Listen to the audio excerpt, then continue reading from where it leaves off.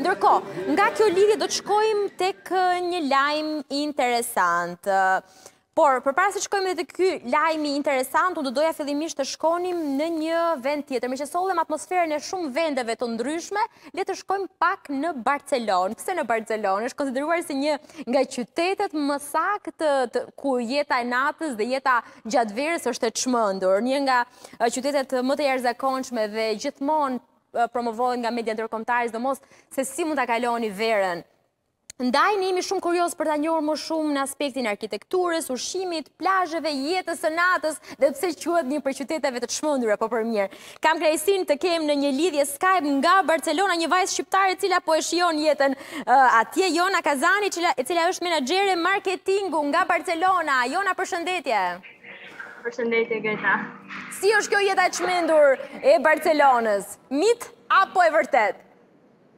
Po varet, varet. Ka njerëz që jetojnë ashtu të çmendur dhe ka që jetojnë normalisht. Unë jam nga këto normalët, në fakt.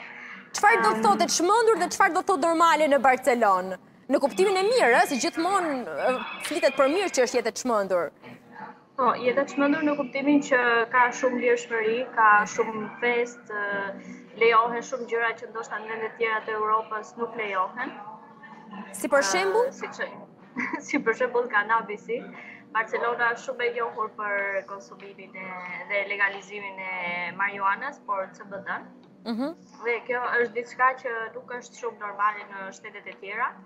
Ë uh, pastaj alkooli dhe këto festat e çmendura gjatë natës bëjnë është shumë ë uh, e zakonshme dhe bëjnë bujë. Këto festat tek po bëjnë bujë, janë këto uh, festat tekno, mos gaboj, të, muzikës mm -hmm. elektronike.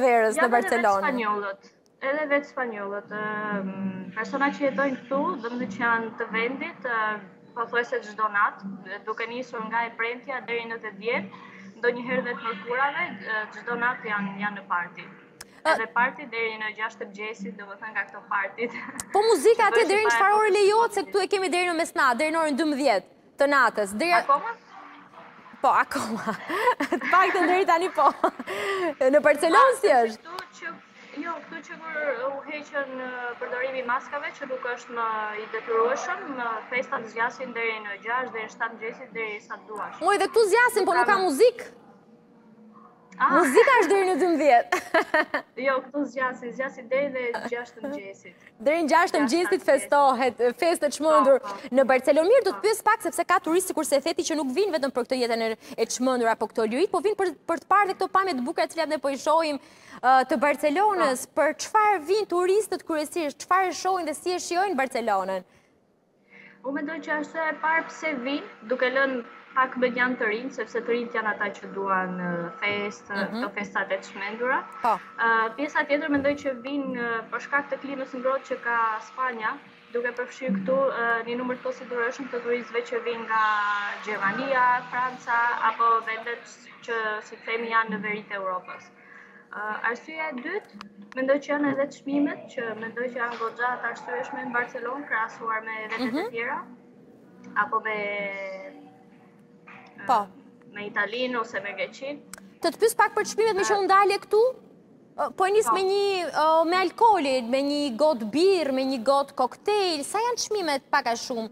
Përafërsisht tani gjatë sezonit veror për këto klabet e natës, Mm, po të them një mesatare, sepse po, varet dhe nga klabi që do të shkosh, mund të jenë 7-8 euro. 7-8 euro, një koktejl apo po, një birrë? Një birrë ndoshta 4 euro, 5 euro. Mhm. Tani unë një pyetje kam meqë është bërë shumë virale në Shqipëri që Ksamili dhe Saranda kanë pasur çmime shumë të kanë edhe vazhdojnë të kenë çmime shumë të larta të po, shezlloneve. Sa janë çadrat dhe shezllonet në Barcelonë?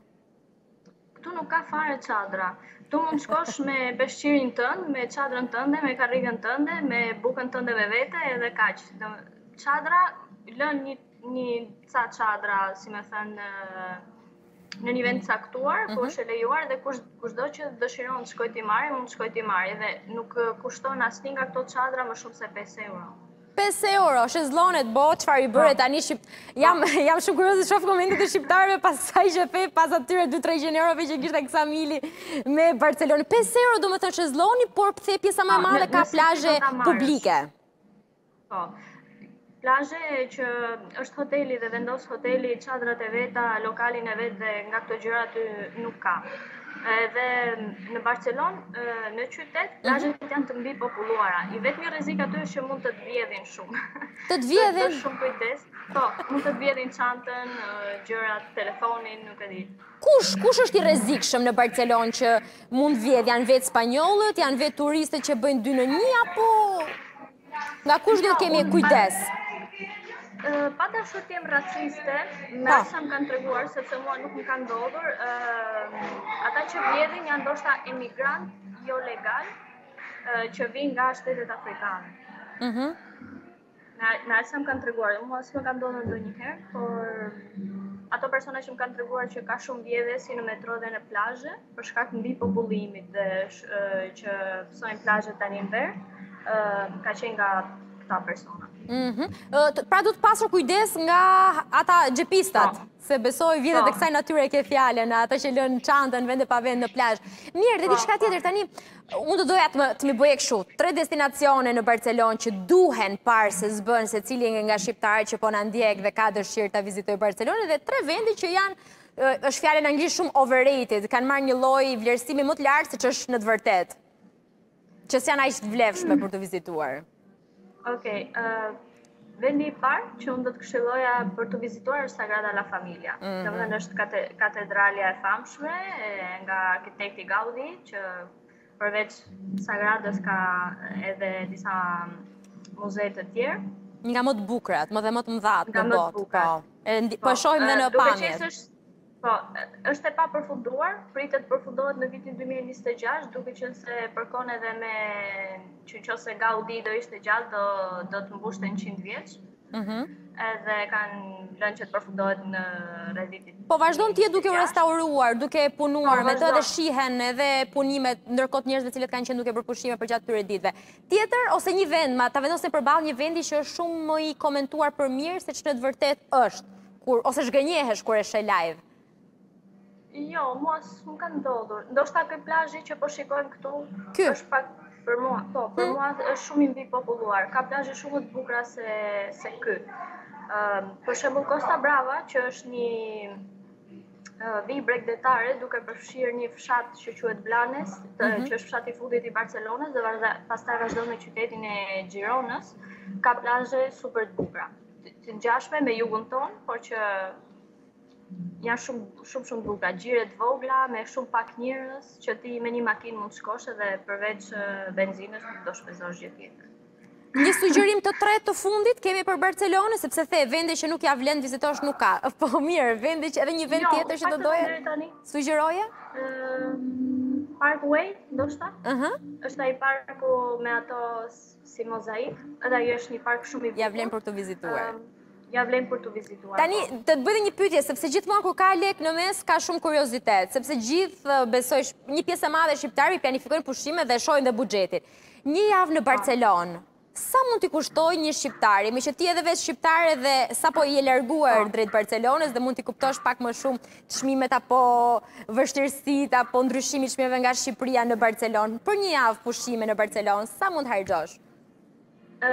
kjo varet shumë edhe nga hoteli që ti do zgjedhësh, zona që ti do të qëndrosh, sepse nëse vendos të vendos të qëndrosh në qytet, tani hotelet në verë janë shumë të shtrenjtë, domethënë mm -hmm.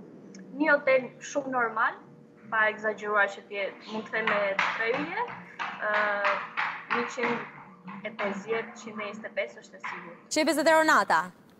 Po.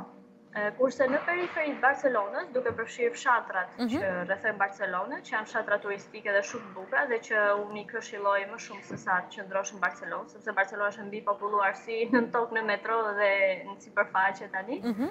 uh, periferitë e Barcelonës Mund të gjesh hotele dhe me 30, 70. Ah, dhe me 30 euro mund të gjesh. Po. Interesante, po. ja një mundësi. Duke gjithmonë duke folur për periferinë e Barcelonës. E kuptoj, po sërish është Barcelonë, dhe është një mundësi dhe fakti që ka më pak popullsi po. apo njerëz të përqendruar. Jona, të falenderoj shumë për këtë turin që na bëre në Barcelonë dhe këtë shije Barcelone që na përcolle në Summer Cube. Të falenderoj dhe të uroj sa më shumë suksese në këtë rrugëtim tëndin të ri.